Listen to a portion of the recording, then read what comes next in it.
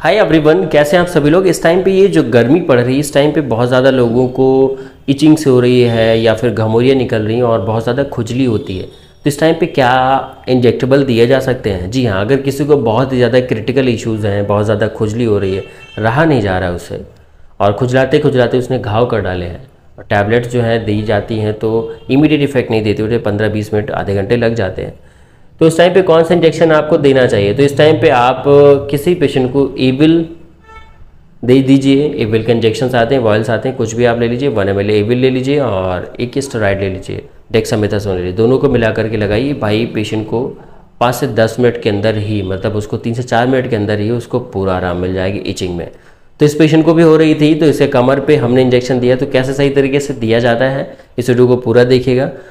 Channel पर ना channel को सब्सक्राइब ज़रूर कर दीजिएगा। बाकी पेशेंट कहाँ लेटा है, कैसे लेटा है, ये फ़र्क नहीं पड़ता। आपको सीखना ज़्यादा ज़रूरी है तो कैसे लगाया है मैंने, उसके बारे में देखिए, उसे सीखिए, समझिए और ऐसी और भी वीडियोस पढ़िए, उनको जाकर भी समझिए, देखिए, सुनिए। क्या चीज़ मैंने बताई, क्या चीज़ मैंने समझाई है। इंटरटेनमेंट के लिए नहीं है वीडियो मतलब आप सब मज़े मार, मत मारिए, इनसे सीखिए। बाकी चलिए, वीडियो देखते हैं और सीखते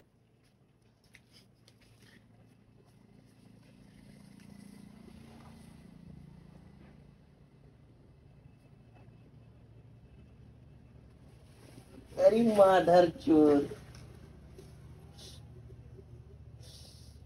अरे माधर चोर लागती।